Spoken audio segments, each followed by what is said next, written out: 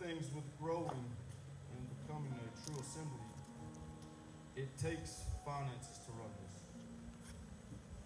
So for now on, today we're going to pass an offering basket, and from now on we're going to put it somewhere stationary and just say, "There it is. Give us your please."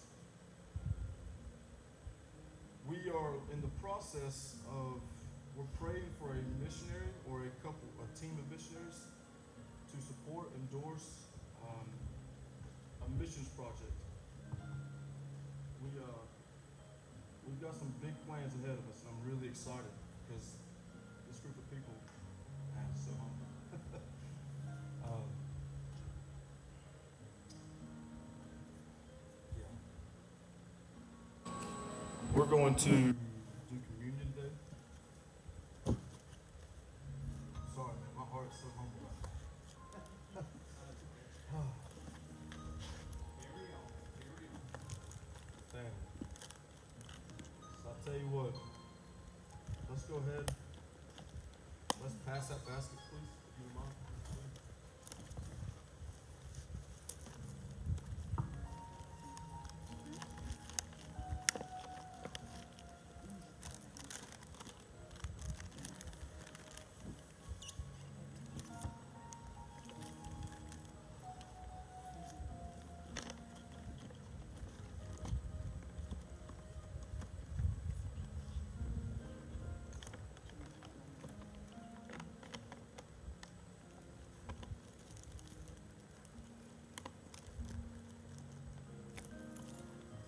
are passing out the uh, address, the member book, trying to keep a record of who's coming and get a phone number.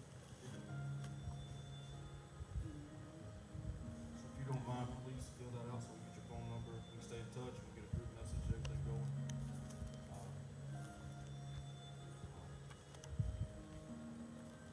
Music. Is that good right there, Todd? Right there? A little bit, a little bit closer. There you go. This is this is weird.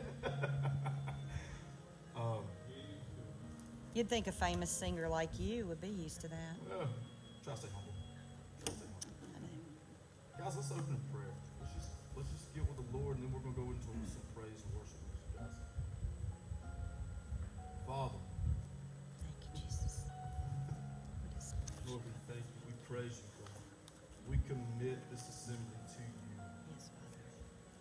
Lord, we ask you to sharpen us, to open our hearts to receive you, to teach us, to father us tonight. We fathers, men, and. We ask you, Lord, for wisdom and not miss it, revelation to be poured out into our hearts. Thank you, Jesus.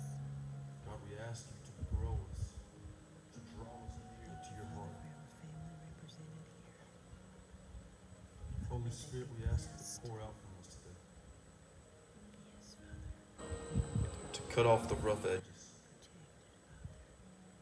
Lord, I ask you to posture our hearts in seeking your kingdom, seeking your face, to be with you. In the name of Jesus. So we're gonna go in. We're gonna go into some praise, worship music. Just get along with the Lord. However you want to worship, however you want to praise.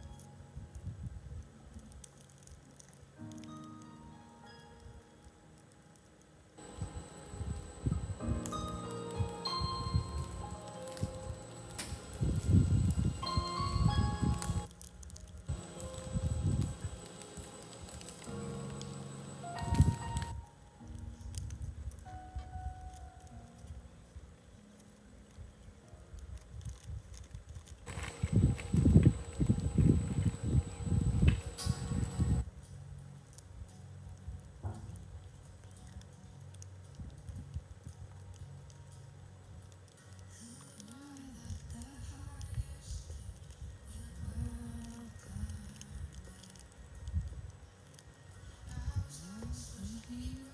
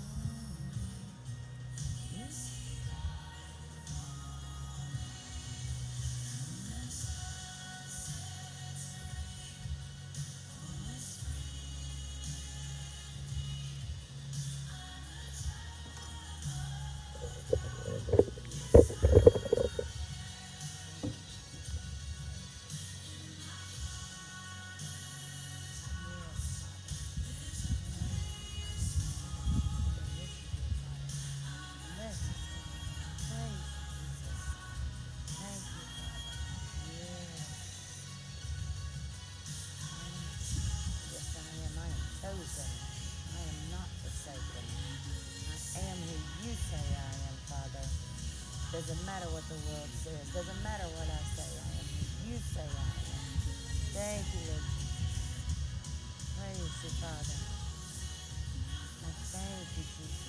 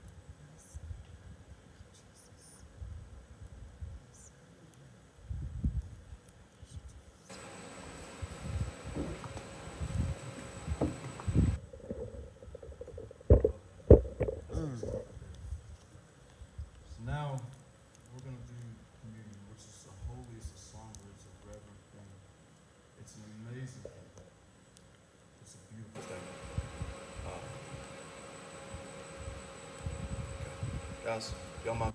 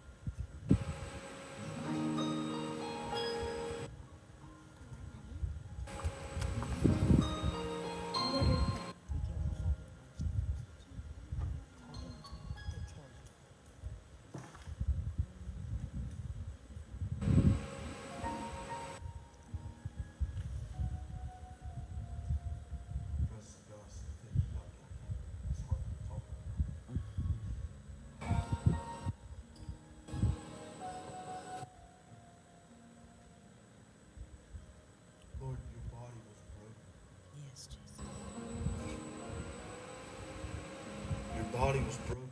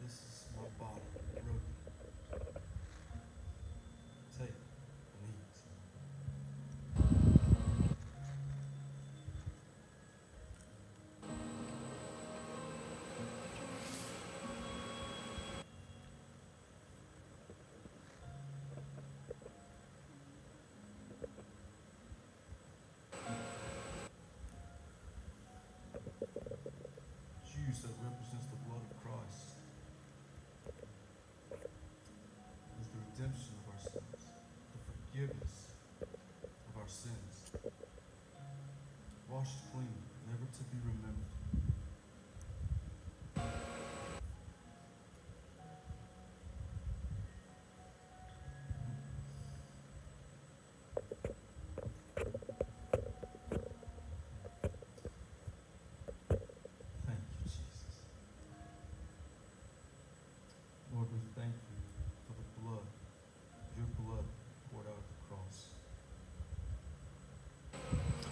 thank you for the forgiveness of our sins, for the for the redemption, for you paid the price for our lives. The perfect sacrifice. Thank you. Lord, we thank you for the washing of our sins, the forgiveness.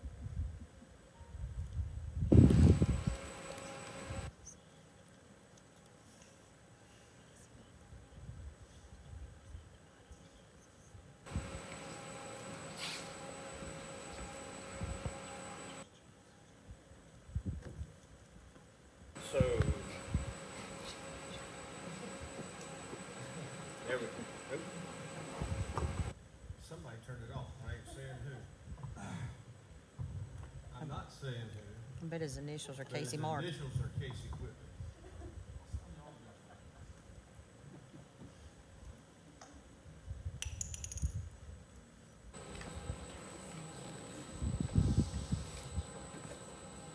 So today we're going to continue on some, some foundational teachings.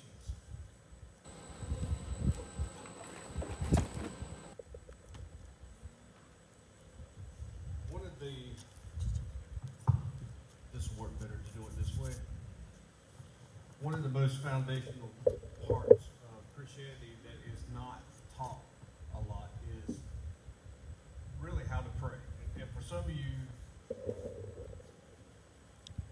one of the things that we found um, that through my life is that in church we have a tendency to not. I didn't make it two minutes. I told you it was going to happen. One of the most foundational things i- is about prayer, and and see what I have discovered through my life is, is that the church has, has kind of fell down on something, and that is when someone is born again, what it's almost as if we assume they suddenly just know this. It's like they someone gets born again and they come to church and nobody ever talks to them about, well, what is salvation? What does it really mean for you to be born again? What, what does it really mean whenever the Bible says to love someone? What does it really mean whenever the, the Bible talks about prayer? We just assume they got it. Some like like some reason that there's just an instant download the moment that you're born again and you just got all of this stuff. When the reality is is that the Lord said make disciples. And so his intention was is that whenever someone you lead somebody to the Lord, you disciple them and in that you teach them these things. Okay? So he's assuming first off the one that's doing the discipling knows this and understands this. And then they're passing this on to the one that they're discipling. They're taking what they learned, their experiences, and they're bringing them up to where they're at. Quickly. Because we know that there are a lot of things that we learned through our Christian walk that took us many, many, many years to do, to to walk in the truth of it. Well, now when you're discipling someone, you can bring them up quickly to that point. They don't have to go through 20, 30 years of Christian life to suddenly learn to learn that. One of the things is that because discipleship is really is not even heard of much much anymore in the church assembly. Uh, that's sad. And even the, even in places where they actually tried to do this, most of them. Now, obviously, when I say that, every, I'm not saying every single church out there misses it, but the vast majority of the visible church out there does. Even if they do try to discipleship. Their idea of discipleship is classes Sunday afternoon for the next six weeks. That's not discipleship. Discipleship is an invest is individual, individual to individual. As a matter of fact, I've even heard a false teaching before, a false statement rather, of a pastor making a comment saying discipleship is not individual. It has to be done through That is absolutely opposite of what the scripture teaches. The scripture teaches that it is individual. See, we've lost sight and understanding of, of what it means to be the church. When we come to get, see, we have done the, the almost the very thing that the Roman Catholic Church did, which is it became all about the institutional church rather than the individual Christian who is the church. It became about what does the church say and being a part of that, even to the point now that you have to be, a, you know, there with Roman Catholicism. If you're not part of the institutional church of Roman Catholicism, they don't believe that you're born again and you're going to heaven. That's why they think I can excommunicate you and you're going to hell. Oh, well, you don't have that power. Reality is, church, what you see in the United States has lost it, its identity, and it, because it's and as a substitute for that, you see a, a huge teaching that resembles Roman Catholicism in that aspect, that the church, institutional church assembly, is the focus. So that's why somebody can make the comment like, well, it's not, and discipleship is not individual. It's cor- it's the whole church has to do it.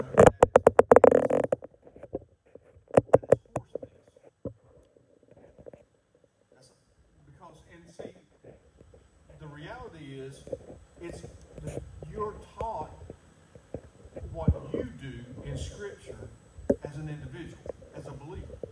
You have all of God in given you the commands to go out and make disciples.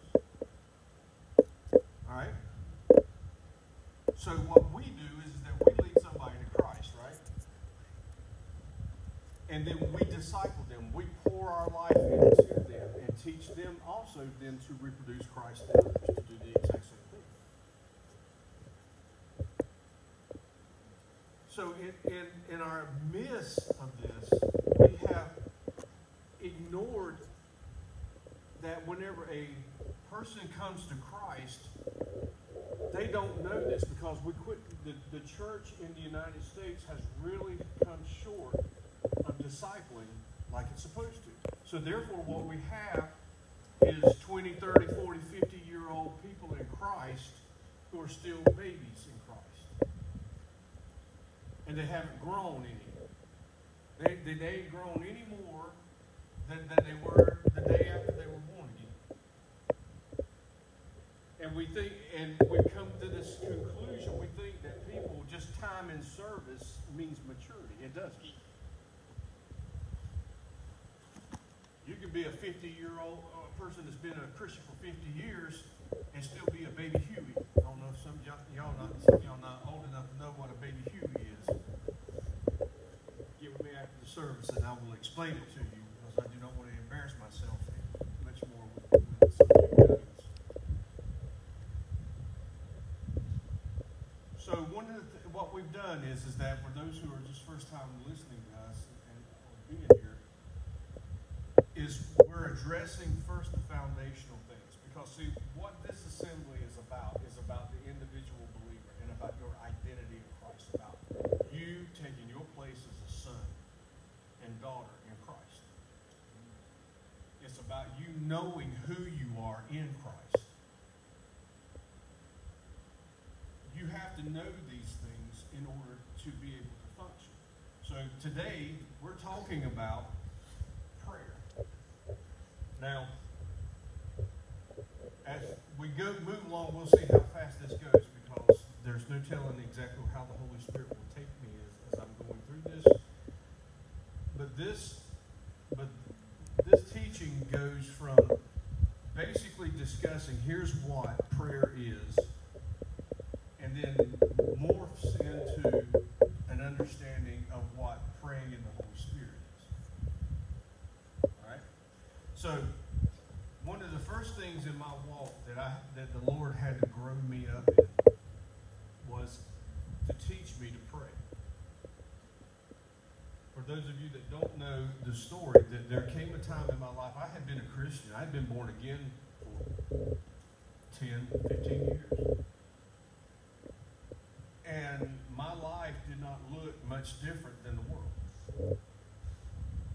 I was not more than a conqueror. As a matter of fact, I wasn't even a victor. I wasn't a victor in anything. Life was beating me up. I had no peace, no joy. Life was not good when it comes to that with my spiritual walk.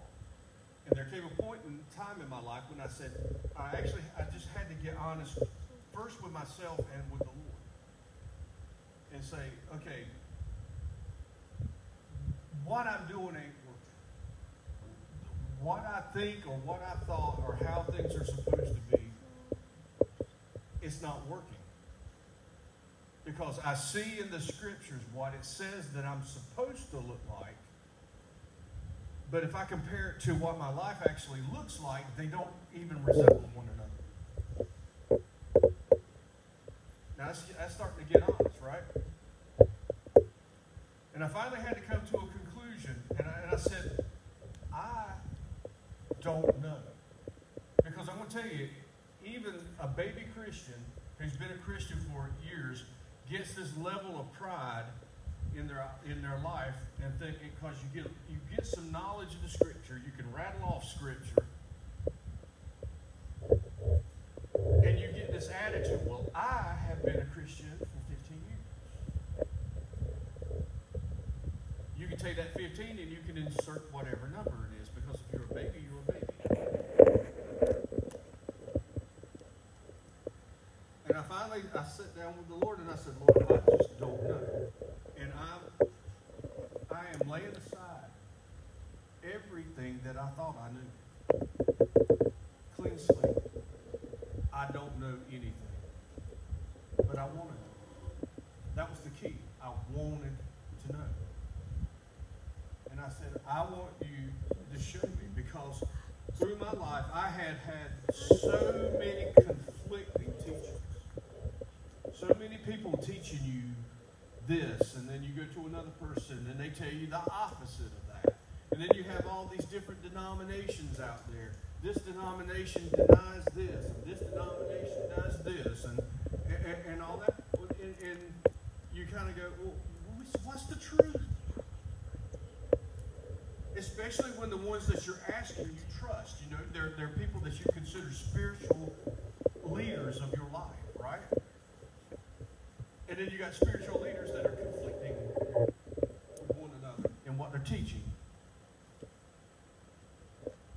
And that becomes so confusing that eventually you get to a point that you kind of go, what, what's the point in even doing it? What's the point in even trying? If I'm going to live, if, if my life is going to look no different than it does than if I was not born again, what's the point?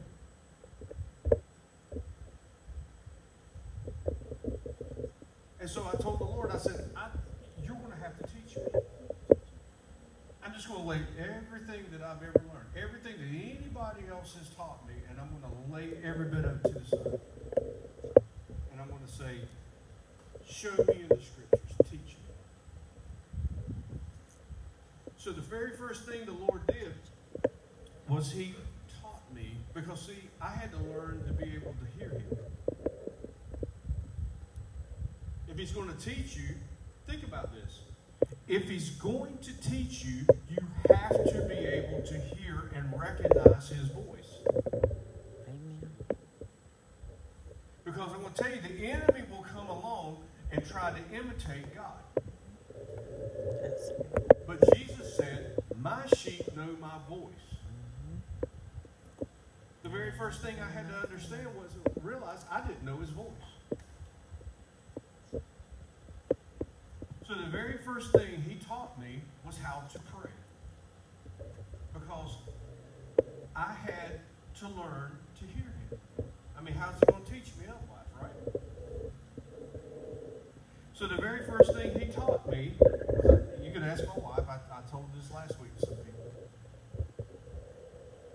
The very first thing I did, I would get up in the mornings as the sun was coming up, and I'd go sit in my driveway with a cup of coffee and my Bible.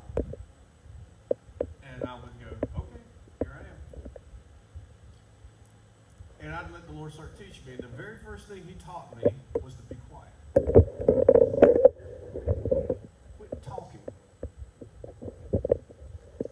And I never realized that up until that point that it, that, that I see I had always. This is why I say the church misses it because they assume that, that a new believer gets this, that they understand this.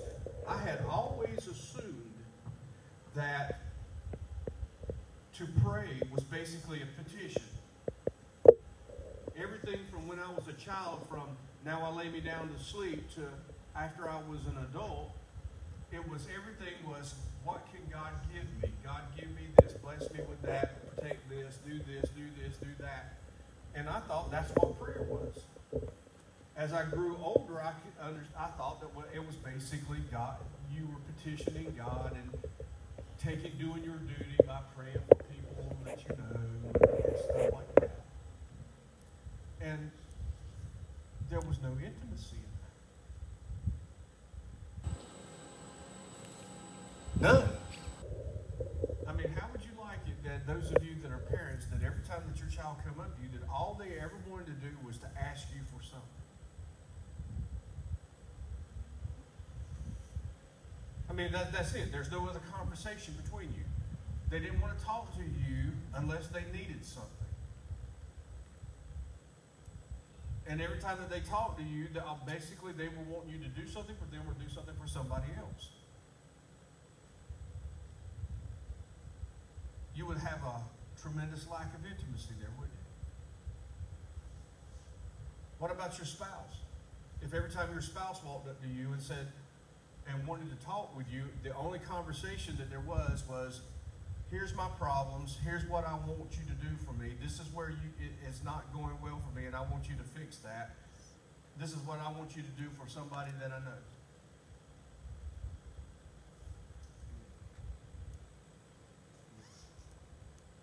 You wouldn't have much intimacy there, would you?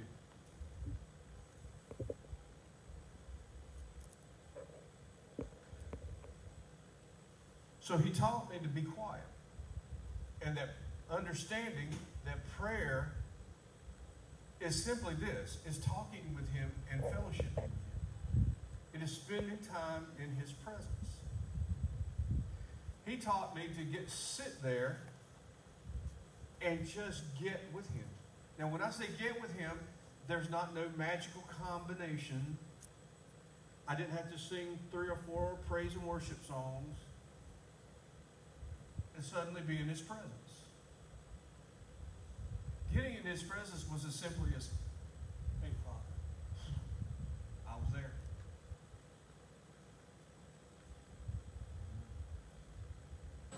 And he told, taught me to stay there, in that place. Because in that place of his presence, that overwhelming presence of him, is where change takes place that part of you that you've been learning, that's that stuff that you've heard in the scriptures that says this is what you're that you've been made and how you're supposed to look. That's all these other times that you've been walking through your Christian walk and you've been white knuckling it, trying to get it to happen for you and never could. Suddenly, that's whenever the change starts taking place, and then you aren't doing it yourself. He makes that become a part of you. It's kind of like, uh, let me just kind of throw something in there. Okay, you have a struggle. Uh, let's just say, for the sake of argument, you cuss. You have problems with your mouth. I know that there's some of the, nobody can relate to that in here, but let's just say you have a problem with that. And you spend all this time for years struggling, trying to get yourself to stop. Making an effort, meaning it. You want to stop, but you can't stop. It only works as long as you can white knuckle it. After a while, you get tired, or somebody makes you mad. And then suddenly, when somebody makes you mad, next thing you know, out it comes.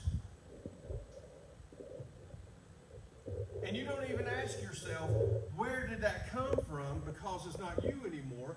You kind of go, well, missed it again.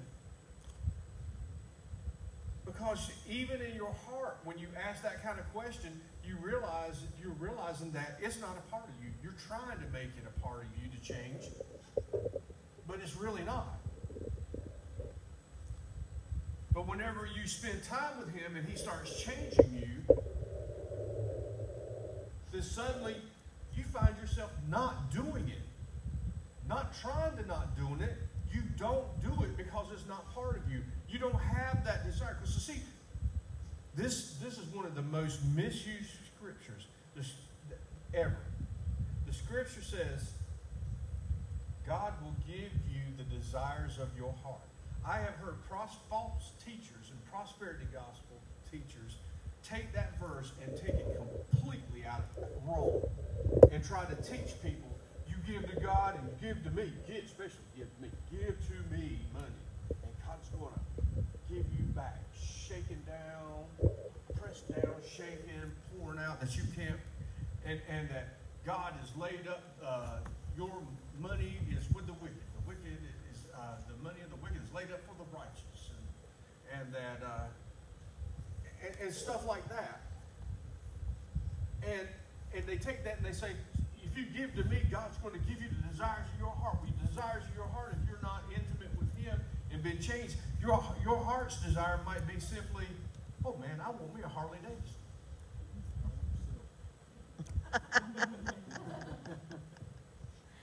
that scripture doesn't mean that He's giving you the desires of your heart like that. Let, let, let me clue you in what it means. He's saying that it, He will give you the desires that is in your heart. He will change your desires to line up with His desires. You understanding that? The subject is not, it is that He's giving you what the desires are now in your heart. Not that He is going to basically becomes your holy ATM machine. It means he transforms you so that even your desires now are reflective of his desires. That's good. Did I step on it too many toes on that one? No, that was good. So what I had to learn was to stay in his presence. He changes me. So that I that I'm not having to have to make an attempt to do it. And so that if I mess up, if I mess up in some way, he's not the, the, attitude that I have isn't any longer, oh man, I was doing so good. Man, I went two months and didn't say a cuss word. Now I'm, I'm back doing it again. Is that when it comes out, your mouth, your mind, you, you and your heart go, what? Wait a minute, where did that come from? That's not me. And then you thank him because whenever he reminds you of it, he's not spanking you. He's fathering you. It's not condemnation. He's letting you know, hey, I'm still changing this in you, man. I love you. This ain't you. But I'm letting you know this isn't who you are. You need to thank him then. Don't look at that being condemnation then for two, three weeks. You go, thank you, Father, for fathering me. Thank you for showing me that, that you're changing me, that that's not who I am. That that's why it bothered me. is because it's not who I am anymore. That wouldn't have bothered me six months ago. I'd have just blurted it out and went on about my day and hadn't given it another thought. The fact that it showed me, you showed me, says that I'm alive inside and that I'm yours and that you're changing me. See, that's the time for you praising God for the change.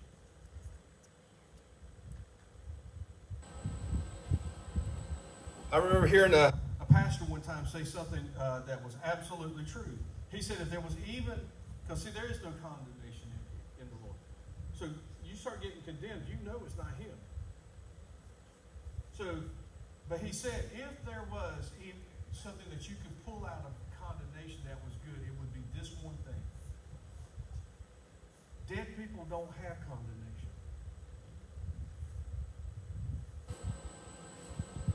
If you weren't his, you couldn't be condemned.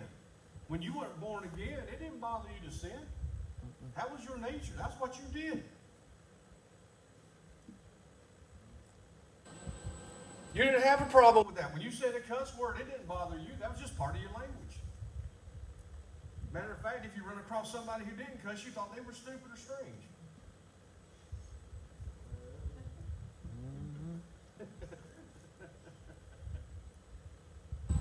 So he taught me to be quiet and to get into his presence and to stay there. And that change started taking place. And you know, when I did that, I started learning his voice. And not only that, the reality of who he is came into reality for me. Because suddenly he was no longer a character in a book. Y'all, y'all don't act like y'all don't know what I'm talking about. Mm-hmm. Because I could look at something in the scriptures and go, Lord, I don't know what this means. And you know what? He would answer me. I mean, just like suddenly, I go, this, this scripture doesn't make sense to me. And suddenly it's like, there it was. There was the answer. As I did that, nobody with denominational doctrines, because see, people who love the denominations and love denominational doctrine, their excuses is always, well, our denominational doctrines line up with the scriptures. No, really, if that's if the reality of it is, is that if your denominational doctrines are lining up with the scripture, you don't need denominational doctrines. You've got the Bible. Mm-hmm. You don't need another doctrine to turn around and say, well, the Bible's true. That's kind of asinine. Denominational doctrines simply come up whenever someone says, hey, I don't like this right here. And, and that, that's if they're being honest with themselves. I don't like this. This don't make me comfortable. I'm going to look in here and try to figure out a way to make this not say this anymore. And then whenever they twist the scriptures, do theological gymnastics to a point that they can make it, try to make it say that, then they gather people around them that says this, that agrees to the same thing, and they basically say, "You can be a part of my club if you agree with what I say." That's what a denomination is. I don't like denominations. I think it's of the devil. I think it's his way of dividing the body of Christ. Because if everybody believed the scriptures, then we won't have this. And the only way that you really believe the scriptures is to do exactly what I just what I just told you I did with him. You lay everything aside and you say, This, all right, teach me what is in the scripture. Because everything that I found in the scriptures, doctrines, doctrines and things like that from denominations, and what they say, I always I look at it to see where does it say that. Like if and, and I'm going to like step on some more toes. Like for example, people who deny that, that the power of God exists in the life of the believers today and tongues and stuff like that. I look into scriptures and I can read it and I can see it. Now, show me where it says in the scriptures that it's not happening now. That it's and I've had people that's actually tried to make that argument. And basically, they go to uh, one verse that talks about when that which is perfect has come.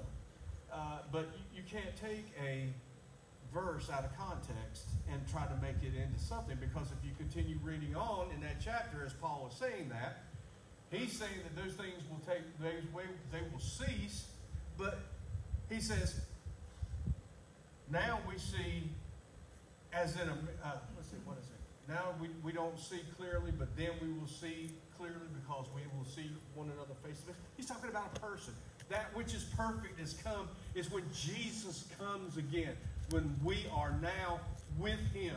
There will be no need for prophecy, no need for tongues, because he is here. It is an, a metaphor for Christ. He's talking about a person. So that verse doesn't mean that, okay, the Bible, because that's what they try to say. Well, now that we got the Bible, well, they had the, they had their version of the Bible in the Jewish culture too, and they still miss Christ.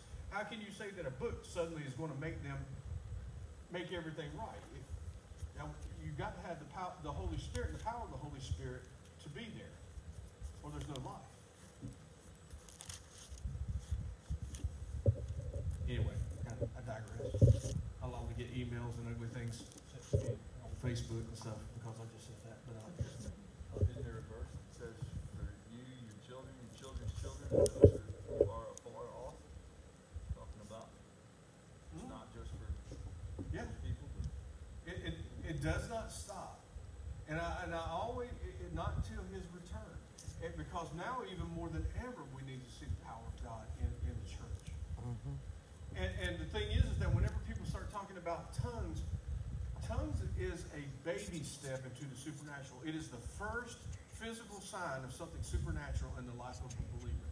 If you get hung up on tongues, how can you possibly get into even the deeper things of God? Laying hands on the sick and watching them be healed, going and raising the dead and stuff like that. That's why it's so far fetched for a lot of people, a lot of people in the church. Whenever he starts talking about laying hands on the sick and, and raising the dead, because even the most, the smallest things, the initial things, are still so hung up on that they can't get past it.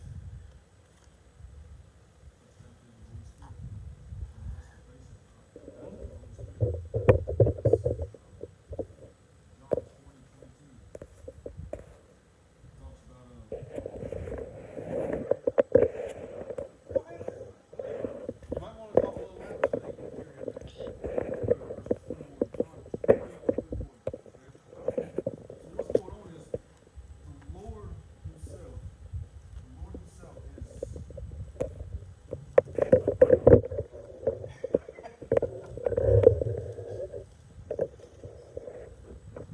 So Jesus has already been crucified, and He's raised from the dead.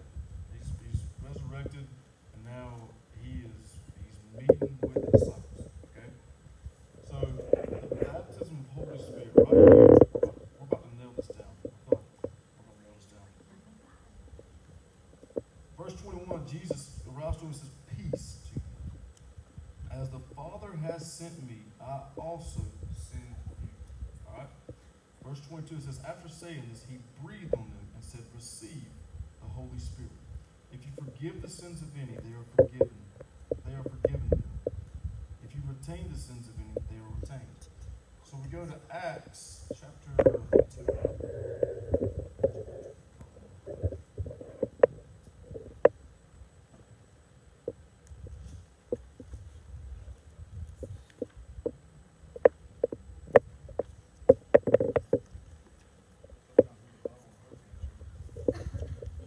thirty-eight and thirty-nine, Thank you, Mike. I'm getting there.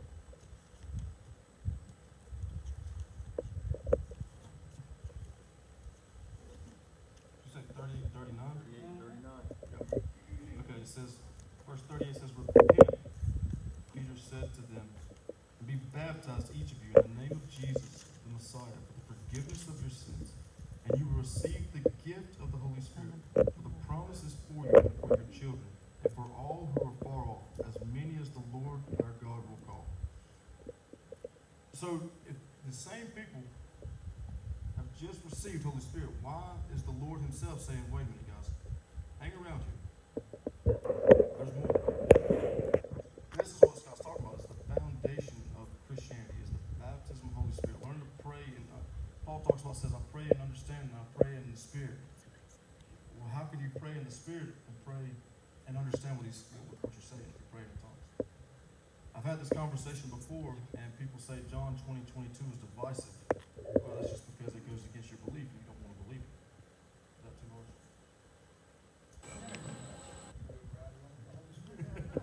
I'm good now, I just. That's what, see, I believe, um, cannot believe I did not. Please, uh, needs to be in Acts two. Let's see. No, not Acts two. I can't believe on that, right on the nose right there, did not put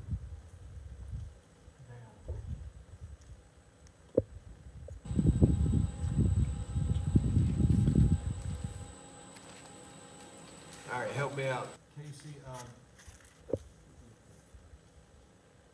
Peter speaking to, uh,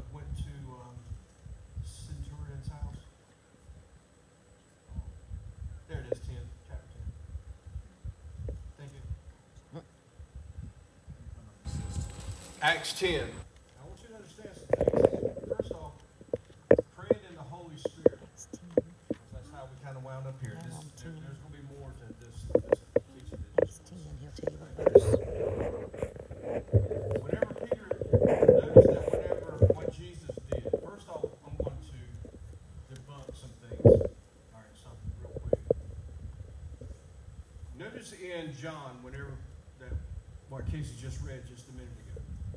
Jesus breathed on them. All right, Jesus had risen from the dead. He is in between ascending. Okay. The finished word has fit taken place. He has rose, he's been crucified, and has risen from the dead. They believe Jesus, who he is. So when he breathed on them and said, Receive the Holy Spirit, why did he do that?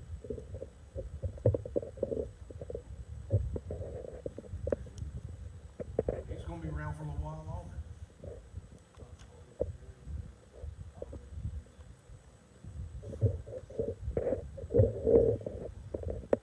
He restored the very thing that was lost.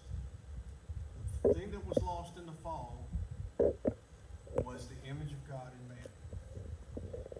Just as God had, had he had done whatever he created man, what did God do? He breathed. Jesus breathed on them and new life came to them. Because see, you have to understand it that way because of this right here. If they received the Holy Spirit, baptism of the Holy Spirit at that point, what was Pentecost?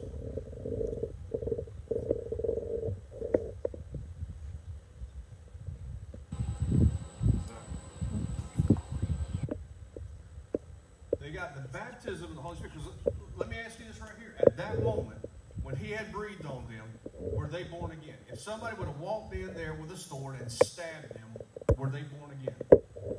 Right, they were. So now there is something else. He says, I want you to wait in Jerusalem. After I've ascended, I want you to wait in Jerusalem until you receive power from above with the baptism of the Holy Spirit. One or two. One or two things. Two, two different things, right? I'm debunking a, a, a few things here.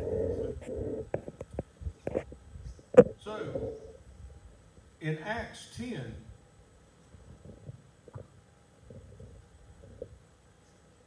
verse 44, Peter gets a vision by the Holy Spirit. The first thing he does is he sees a sheep come down with all types of animals. Peter is a Jew. He only eats what is kosher. But on this right here, there are all kinds of things that are not kosher. Pigs, seafood, God.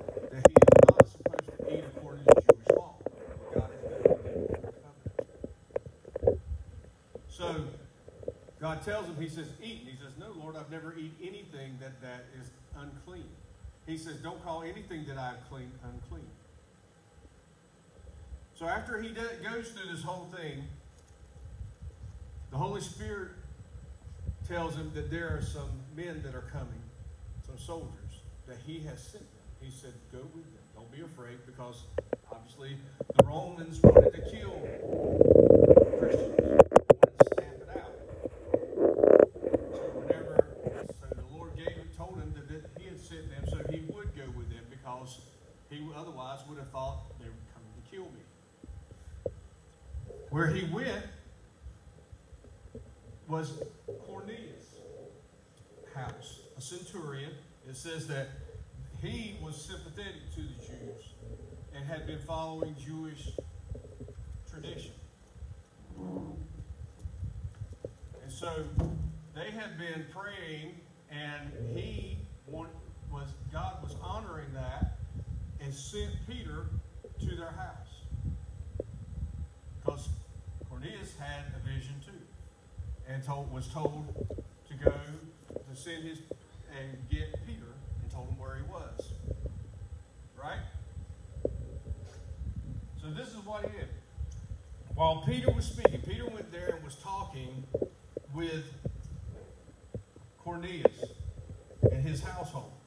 And it says, while Peter was still speaking the words, the Holy Spirit came down on all of those who heard the message. And he heard because the gift of the Holy Spirit had been poured out on the Gentiles, for they heard them speaking in other language and declaring the greatness of God. And then Peter responded. He said, Can anyone withhold water and prevent these from being baptized who, ha- who have received the Holy Spirit? So, right there blows the theory that whenever the Bible talks about baptism of the Holy Spirit, it's talking about baptism in water because Peter just saw them be baptized in the Holy Spirit, and he says, Can anybody not get. Uh, decline giving them water and let's baptize them in the name of Jesus. Right? Two separate things. Right? And what was the way that he saw that they had been baptized in the Holy Spirit? They were speaking in other languages. In other words, tongues. That's what it is.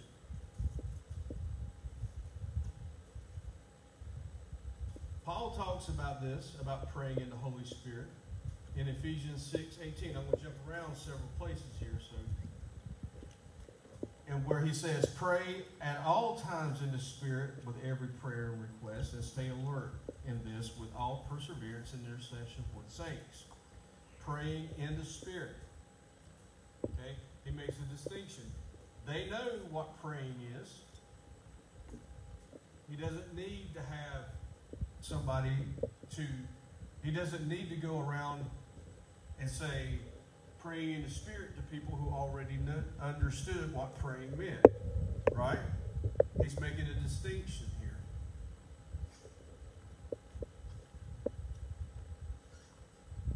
Now, let's go to another one Acts 19, verses 1 through 7.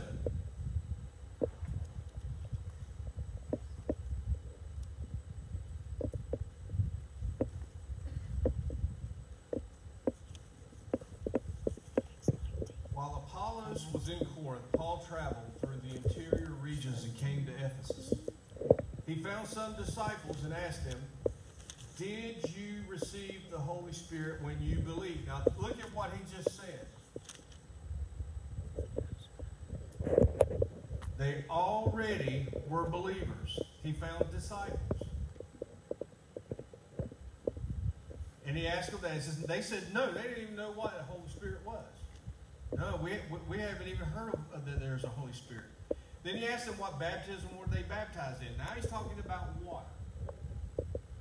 And they said, well, we were baptized in John's baptism. They're still believers. They were just, the only baptism they had in water was John's baptism, telling people to repent that the Messiah is coming. 19. And Paul said, John baptized with the baptism of repentance. Well, look at there, I just said the same thing. Telling us, telling the people that they should believe in the one who comes after him, that is in Jesus.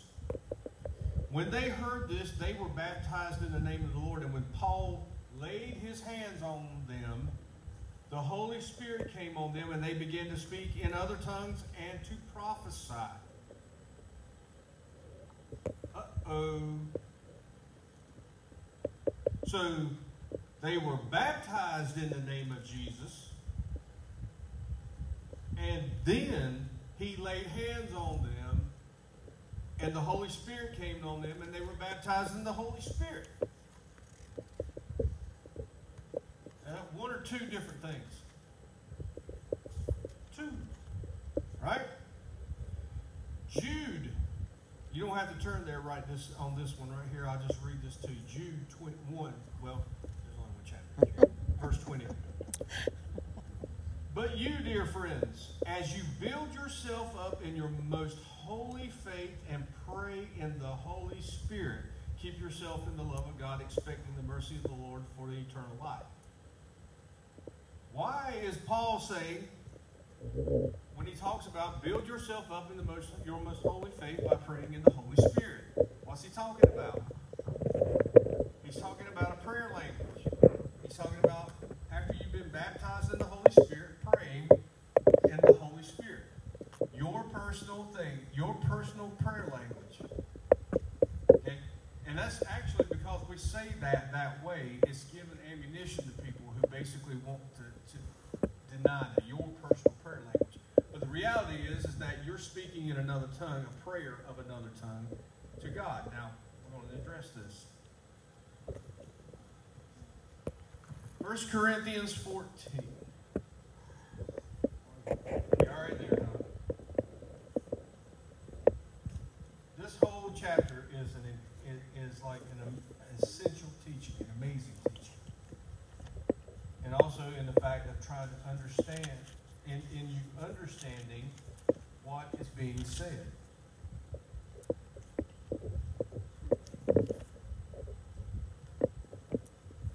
Y'all say amen when you get there. First Corinthians chapter 14. All right. Now, starting in chapter 1, pursue love and desire the spiritual gifts. What? Desire spiritual gifts. Holy smokes, I thought it was over with. and above all, that you may prophesy. So he's sitting there and he's actually separated prophecy from it so somebody can't actually say the spiritual gifts. He was just being prophesied. Well, let's see what he was talking about. For the person who speaks in another language is not speaking to men, but to God, since no one understands him. Amen.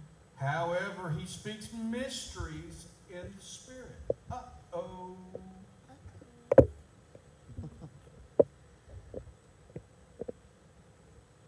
desire, pursue love, and desire the spiritual gifts. And then he goes on to explain that he's talking about when he's saying spiritual gifts, he's talking about speaking in tongues.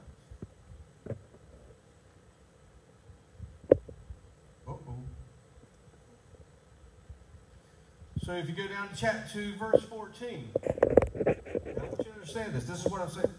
For if I pray in another language, my spirit prays. This is what a prayer language is. But my understanding is unfruitful. What then if I will pray with the Spirit and I will also pray with my understanding? So when you pray in the Holy Spirit,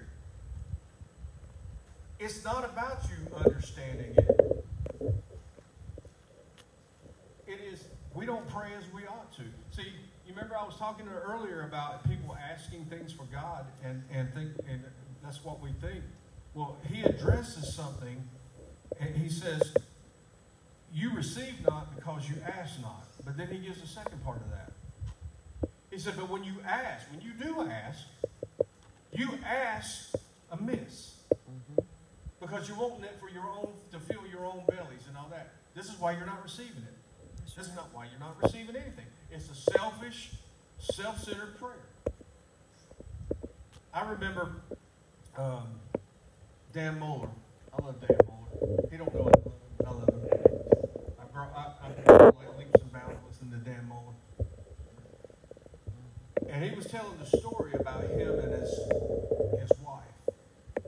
And Dan, before he was born again, was not Dan. He, he was kind of like Paul was not Paul before, but he was Saul, and, and then he became Paul. Dan was not Dan before he was Dan. He was not good. He was a good sinner. And him and his wife, who his, his wife, who was a Christian, he just told her before they got married that he was because he was just trying to get in her pants. And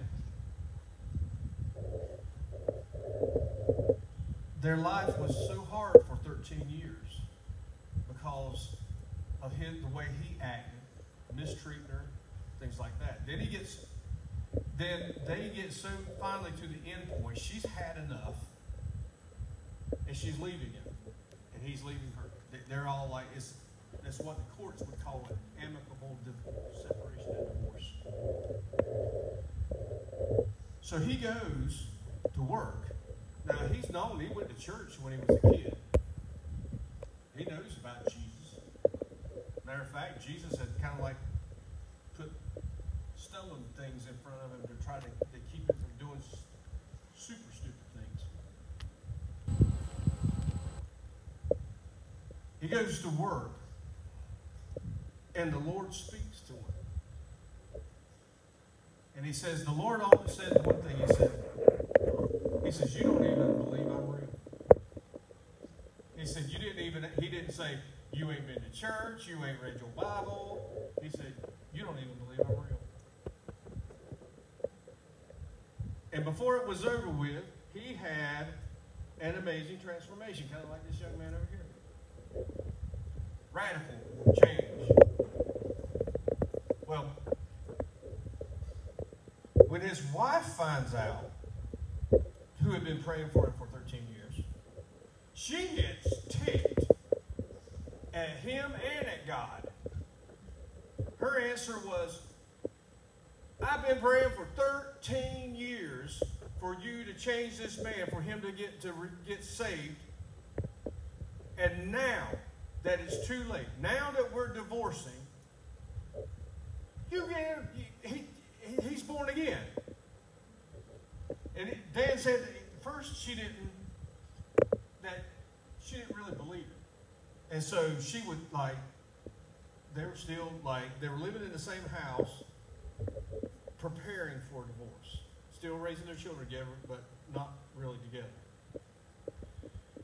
And she would try to catch him. She would like act like she's going to go off with her girlfriends, and like six hours later, she would come back and try to catch him. Like she like he ain't really doing this. Just catch him doing something he, used to do. And the, when she did it, she come in to catch him, and he's sitting on the floor talking to his kids, teaching them how to pray.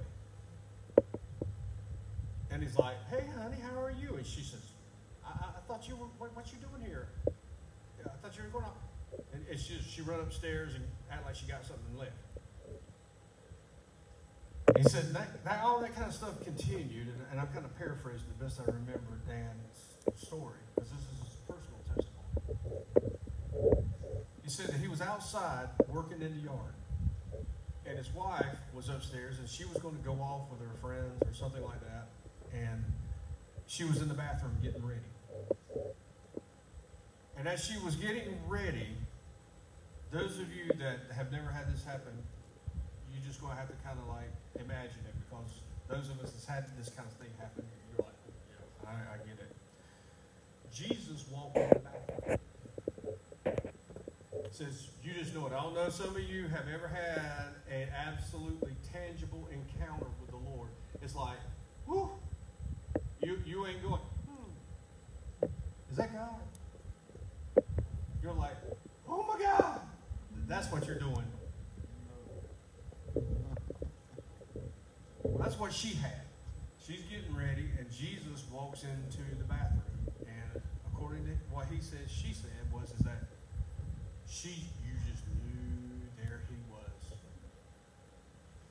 And because she got so mad at God whenever he got saved, she told God, said, she told was told God, she says, I don't want to have nothing to do with him, and I don't want to have nothing to do with you. So when Jesus walked in the room, he was. This shows you just what real love is. Because love does not, love does not seek its own. It does not count wrongs done. Jesus walks in, and he doesn't go. that, that was some pretty hurtful words that you said to me the other day. No idea what asking me. He came in with a purpose to minister to her, to restore. And he, she said, he, what he said to her was this Why are you angry at that man? That is not the man that you even married. And said, he told her, he answered her question. He said, For all those years that you prayed your husband, you were not really praying for your husband because you, your heart was for him and wanted him to be saved. You were praying for your husband to be saved because you knew that that would transform him and make your life better. Mm-hmm. And he said, That is a selfish, self centered prayer that I cannot answer.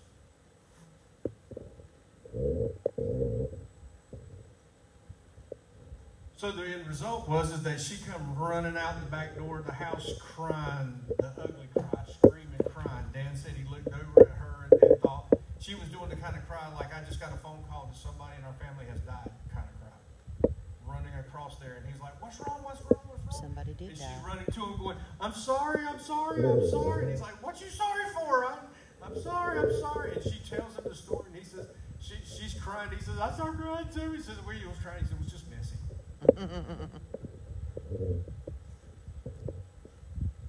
Self-centered, selfish prayer. See, we have that's what the church has dealt with for a long time. And you see it. You see it on a regular basis. You watch the same people that come down to the altar every single Sunday. The same people that are every single Sunday that are on Facebook saying, you need to pray for me for this, and you need to pray for me for that, and all that. It's all about something, and they don't know who they are in this. It's, see, a Christian is the one with the answer. You should be so grounded in His love and knowing Him, you already know the outcome. He loves you. And so you're not having to be, you're not moved, you're immovable. Yes, bad things do take place and happen, but it doesn't have to move you. It doesn't have to change who you are. But see, because the church doesn't understand who she is anymore, that's what you see. You see them come, people that are constantly asking for prayer for something because they don't know who they are, and they are movable. It's kind of like walking in divine help. Somebody would ask you, why do you believe that, that you can walk in divine help? How, how can you possibly believe that you're untouchable? I have been a Christian for 30 years and I get sick. Your answer can simply be because you believe you're touchable.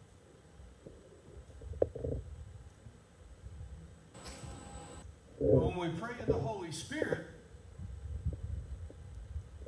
you don't you bypass that because the Holy Spirit is praying with you and praying out the mysteries of God. He's praying out, helping you pray out the will of God, and you don't even understand what you're saying. That's what praying in the Holy Spirit is. That's the purpose of the Holy Spirit. Because you can pray out that, and your mind can never engage during that. Because you're praying in a language that you don't even know yourself.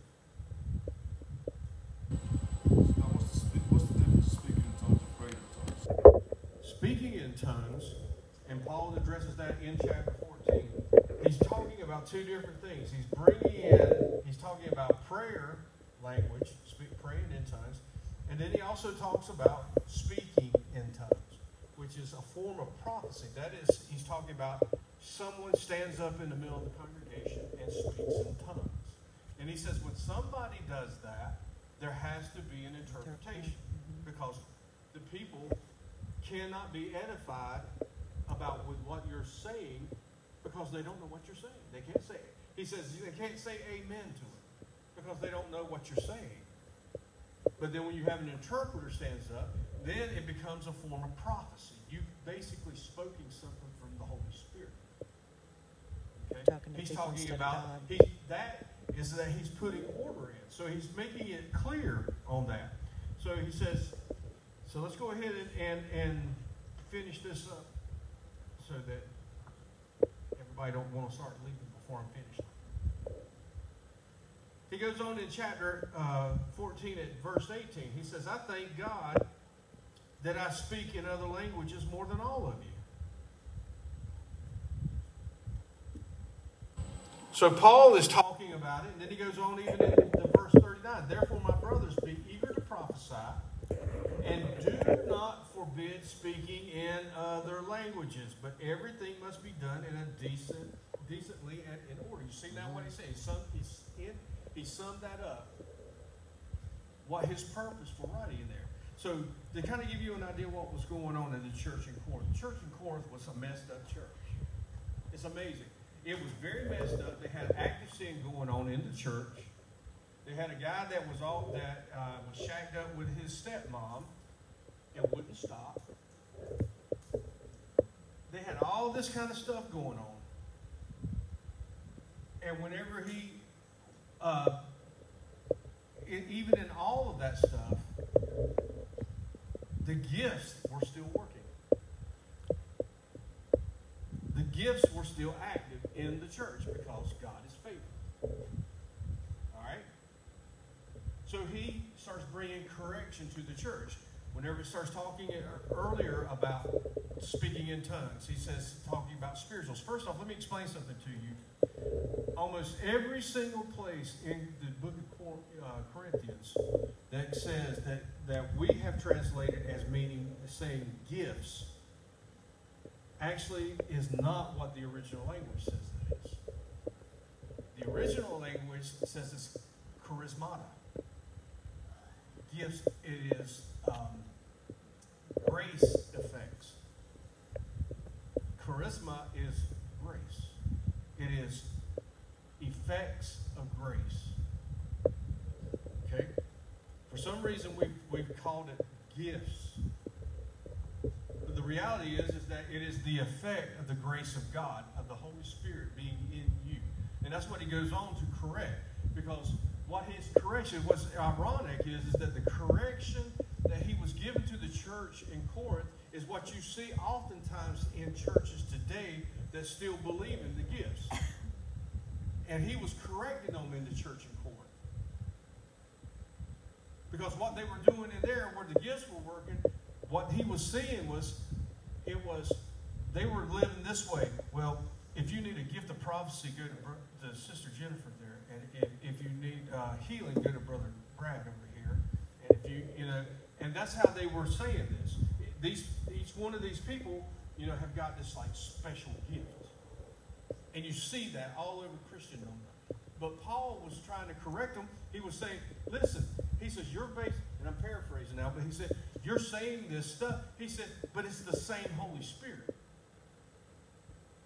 He said, the Holy Spirit that is in you, had, you have access to all gifts at whatever given time it's needed.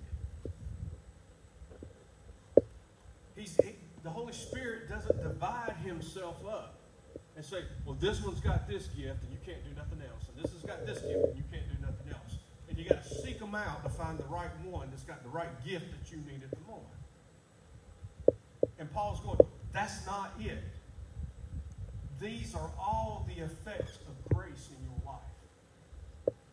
The whole, by the Holy Spirit, by the power of the Holy Spirit. And they are there for whatever need is necessary. So when you're walking through Walmart and somebody's over there sick, you don't have to go call up Brother Brad. Can you come over here? So and so's sick. Go lay hands on. 'em. Because you have the same Holy Spirit. The same Holy Spirit in you, the same one that raised Jesus Christ from the dead, has done every single healing and miracle that has ever been done. And he lives in each one of us. Amen. So, what are you going to run across that he can't handle? It Makes it sound kind of silly now, some, some of the stuff that we're doing in it.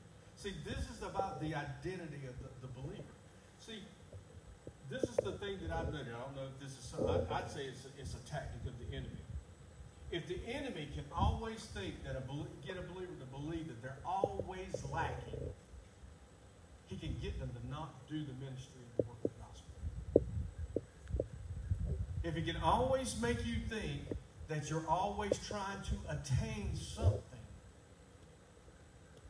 he will keep he can keep you from doing the work of the gospel because you don't know who you are. Because when you know your identity in Christ, when you know then you're not having to worry about that because you know that all of God is in you and you and him are one. Right? Now you have the answer, and the gospel is simple. But what he does is he teaches, he, he, convinces spiritual leaders in the church to teach the gospel and your walk in Christ as you're, you're taking steps to try to attain something, to try to get there. When the reality is, is that the new that the new covenant, it's not teaching you what it says. It's not teaching you this is what you got to do in order to get this. It's teaching you this is what's already in you. This is who's already in you. Now let this be what comes out of you. Because that's who you are. Go ahead.